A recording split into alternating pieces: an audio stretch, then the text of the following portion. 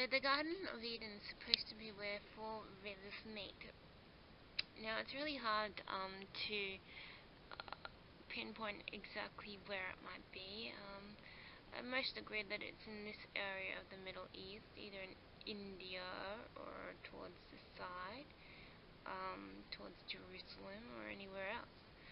Um, but I'm going to note that it might be where this big lake thing is. Um, now obviously there's no lake there now, but once upon a time there may have been.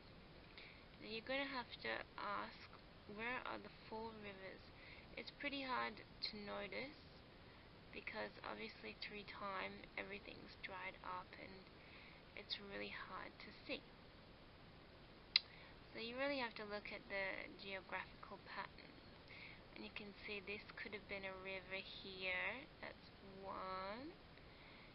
And this looks like some flooding. It doesn't look like a river. So we'll look a little bit more. This thing, this red line looks like it could be a river which broke its bank. So that's two and here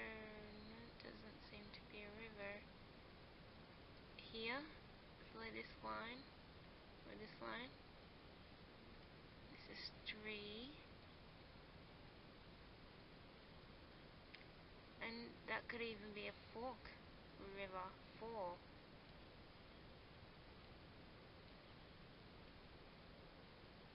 There's four rivers. One that broke its bank, one with a fork, and another one.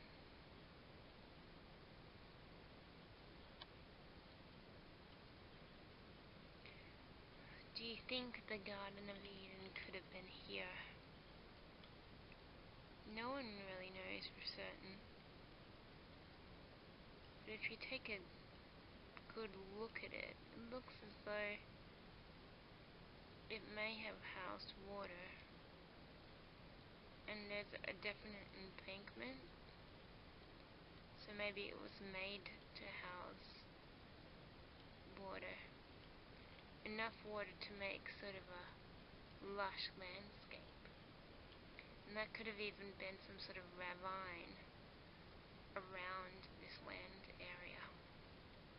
I don't know if you can see it. So it was made to have a little dish for a mortar around this middle bit. And so that middle bit could have had a lush garden while the river water and all around